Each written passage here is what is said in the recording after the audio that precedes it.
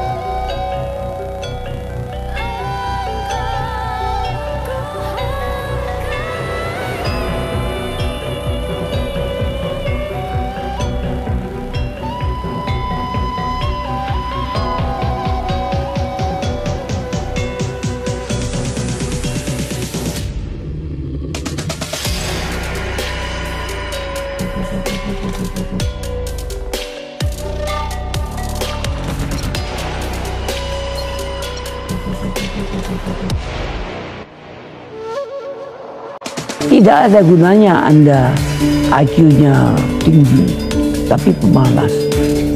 Tidak memiliki disiplin. Yang penting adalah Anda sehat, mau berkorban untuk masa depan yang lebih cerah, dan Anda konsisten.